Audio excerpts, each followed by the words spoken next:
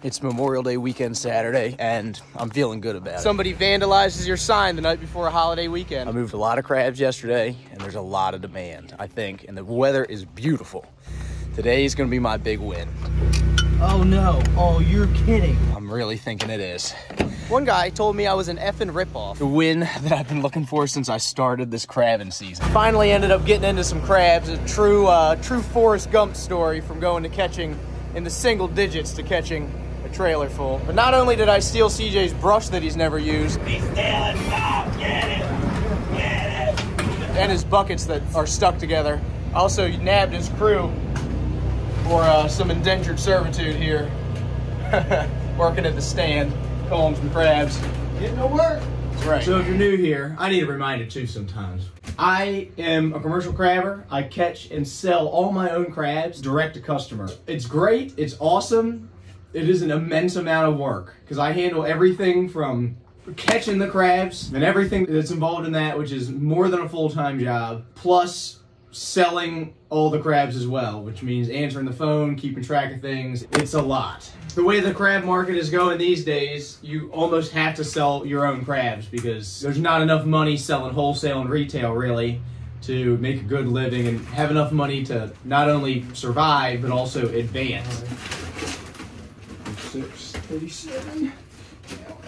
People always ask, do you get pinched? The answer is yes, every day by like almost every crab. I've been doing this for quite a while and I still get pinched constantly. It is Saturday morning and I'm putting together all my pre-orders. I had a guy that ordered five bushels of crabs full price. I don't usually make exceptions, but I'm here putting his crabs together and I'm gonna go drive him and deliver him a little early for him. He spent a lot of money on these crabs and I really appreciate it. I understand how hard money is to come by these days. Trust me, every dollar I have is incredibly hard earned. I really, really try to take care of people when they're going to spend a lot of money. I mean, any any person. I try to take care of anybody. I understand these crabs; they're not the cheapest, but I do every single thing I can possible to truly deliver the very best product I can. It's a Saturday between two holidays, and as I predicted, very, very slow today. Lindsay is doing her best to get people in the stand. That's the kind of energy I like. You're doing great, honey. You're killing it. It's wife material right there. This is Lindsay's version of working, working the corner. my vacation. That's right. She's she's earning that vacation. I better take her somewhere nice.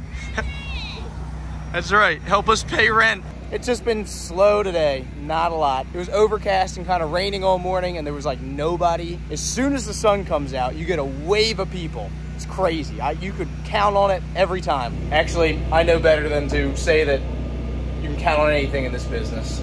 So this is the second half of my job after I catch the crabs Monday through Friday. I sit on the side of the road at my lot here in Glen Burnie and sell the crabs. We don't have a whole lot. These ones are dead.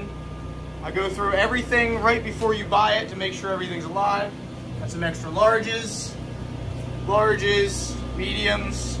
There's a large in there.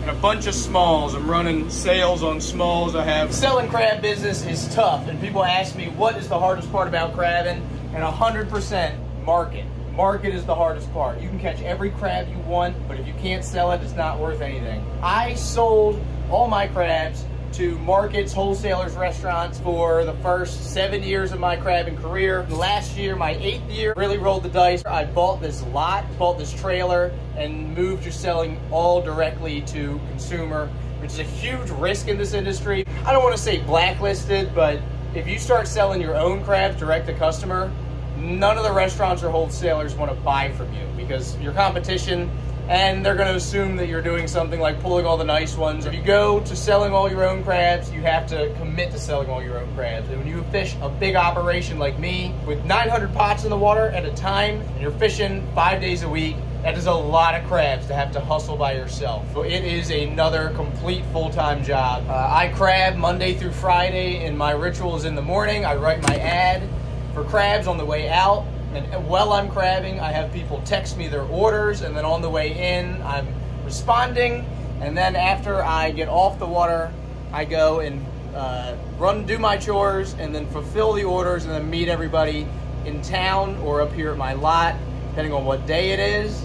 And then Fridays, I go crabbing and then take the trailer up here And then Saturdays and Sundays, I don't crab, but I'm sitting up here 11 to 5 at 7333 East Furnace Branch Road selling crabs. So basically, I work all week, sell as many as I can during the week. I run a lot of sales, and then the weekend comes around, and I'm up here trying to make the money back. And then you add in trying to make videos and everything else. It's basically like three full-time jobs. I don't sleep. I have no time to do anything. Everybody wants to be a crabber until you can't see any of your friends or go on vacation or do anything fun from March till November. My lot up here, actually, I bought as just a big grass lot and it was completely covered in garbage and junk. And over the past couple years, I've done a lot of work to make it a lot prettier. I put in all this gravel, cleared the curb cut that was completely buried in trash and dirt. I didn't even know that asphalt was there when I bought the place.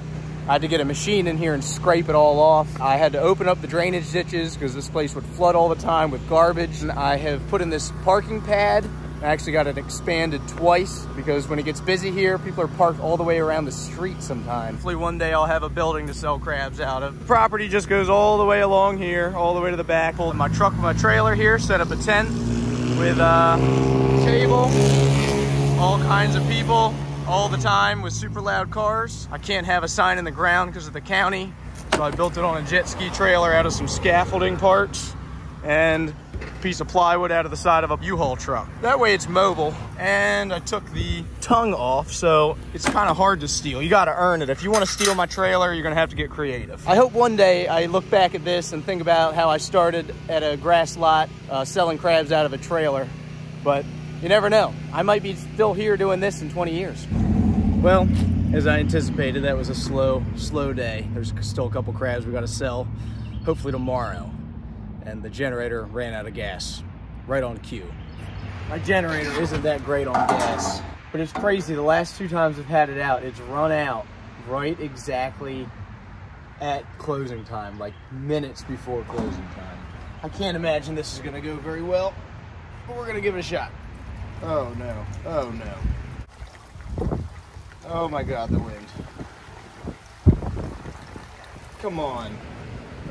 Covered in gas. I would use the uh, nozzle that comes on it, but that's the only way you ensure you actually spill more gas than doing this. They don't work. I don't know a single person that ever uses those. Everybody unscrews them and dumps gas all over themselves. That's the most typical government solution I've ever seen. Create something that's completely useless, and then people just bypass the thing that's completely useless and do twice as much harm as they did before. Nice.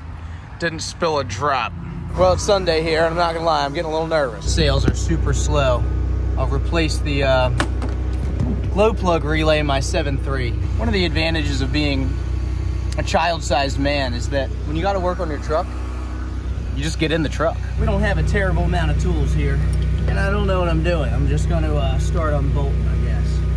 I'm pretty sure you're probably supposed to, you know, oh God, disconnect the battery. I feel like that's more of a suggestion than anything, really. I'm one of those guys, I don't know what any of the wires do. I just know to put them back exactly the way I found them. I've never had so little demand in the spring. People are seeing the ads and my prices are competitive with everybody else, even a little less. I'd love to drop all the necessary parts into this hot crevasse. Oh no, oh you're kidding. I just dropped the only socket. Oh my God. I hate working on my truck. This project just went from stupid to even stupider. It's the only full socket set I had too, and now it's missing a socket. I have two days to make a week's worth of payback. Not a good sign that this early in the year, people are not buying crabs. The other dilemma today is that it's super windy and my tent keeps trying to evacuate the premises. May have to zip tie it to that fence and use that cinder block over there to hold it down. Why does it always come to this? It always comes to me in crunch time trying to fix something that's stupid with no tools in a place where I have no business working on things. I hate this, I hate this, I hate this, I hate this, I hate this, I hate this. It's so stupid. This job should take three seconds if I heard the right. I know I have something in here that I can at least get to work, I'm sure, but I'll never find it.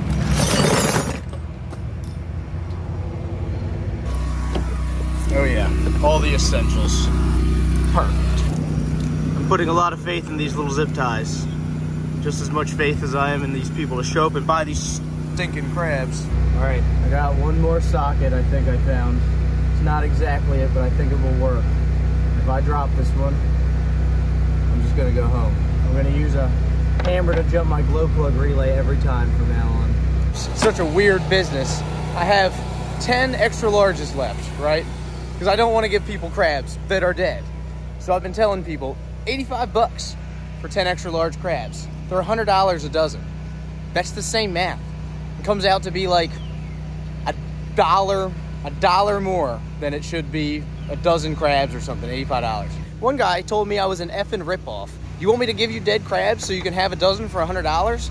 I'm trying to like do the right thing here and not sell people crabs that are dead or not of the best quality and people think I'm ripping them off. Totally understand why a lot of people that sell crabs just don't care. They're sleazy because I'll tell you what, you try to take care of your customers and you really got to work hard to find the ones that are also going to take care of you. And I have a lot of those and I'm really grateful for them. I'll tell you what, sometimes they test my patience. Not the good ones, the bad ones. So much of like sales I've found, it doesn't have to make the most sense on paper. It just has to make the most sense to whoever has to buy it. It's so weird to me. It's not how I think at all. I think very analytically. When it comes to sales to the general public, they think analytically to a point, and then once you hit that point, you have to just figure out what works. Very weird. All right, let's see if it works.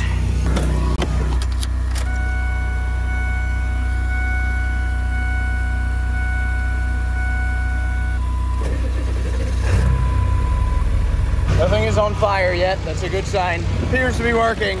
The true test will be when it actually needs to use the relay, which is not right now because it's warm. We'll find out the next cold day if it truly does work. Ah yes, the day continues to get awesome. I just smelled rubber, the refrigerator quit being cold, and the belt's broken.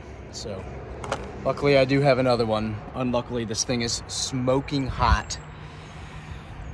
And I got a fridge full of crabs to try to keep alive, so. What a day. All right, it's working. Seems to be okay for now. Cold. Half an hour left. See what all it takes to keep the wheels on this operation for a day. We got 15 minutes left. Think somebody's gonna pull through last minute. I hope so. Well, we did not sell the last couple crabs. I might cook a couple up for Lindsay tonight for dinner. Now we just gotta clean everything up. I gotta go scrub the trailer out and go pick up bait and get ready to go crabbing tomorrow. Start it all over again. This is gonna be a busy week here. Really gonna be a tough one. We got a holiday weekend coming up. Some days in Baltimore, baby. It's Memorial Day weekend Saturday. I'm feeling good about it. I moved a lot of crabs yesterday and there's a lot of demand. Oh yeah. Wow, we haven't even opened yet. We've sold almost all the crabs. Huge rush. think it's gonna be good. Check this guy out. He's got some crazy points on him there. Well, you know you're doing something right when somebody vandalizes your sign the night before a holiday weekend. That's all right. I know exactly who it was, so we'll stay tuned for the uh, security footage from the neighbor. Because I needed a new sign anyway. This one was kind of old and outdated, so thanks for helping me decide to get a new sign. Also, thank you for dumping all the dead fish and crabs here, if, as if it wasn't any more obvious as to who you were. It's great for the grass, dummy. See, when you're in my position and you bust your butt to build a business and something you're really proud of, you have something to lose. So you really can't do anything to a bunch of low-life losers that want to take it away from you because they've made nothing of themselves. You can't hurt somebody that has nothing. Finally sold out. It took forever. I had a huge rush of people and then literally not a single customer, phone call, message, nothing for two hours. And all I had left was like a bushel and a half of small males. I tell you what, they really ought to just change the size limit on crabs in Maryland. They want more crabs. They're trying to come up with all these solutions, saying we're catching too many. Make it a five and a half inch crab the whole year long. That's how you get better crabs. You can only catch a crab once. Why don't you catch it when it's worth three times the money?